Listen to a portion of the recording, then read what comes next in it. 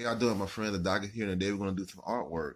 And um, you know, sit back and relax, enjoy the artistic ride, like, comment, and subscribe, and enjoy it.